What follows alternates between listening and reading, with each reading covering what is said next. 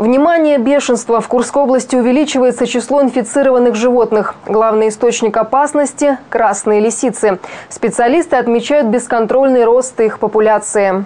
Смертельное заболевание, к которому граждане часто относятся халатно. В этом году от бешенства в Рыльском районе умерла женщина. В целом по области за помощью к специалистам обратились более 2700 человек.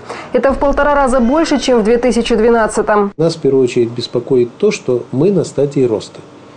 И какое количество подобных случаев мы зарегистрируем в следующем году, пока сказать трудно, но, вероятно, точно можно будет определить, что больше, чем в этом году. В области проводят профилактические мероприятия отстрел инфицированных животных. Курян призывают быть внимательными, а при нападении зверей незамедлительно обращаться к врачу. Курс лечения – 6 прививок в течение трех месяцев и отказ от спиртного.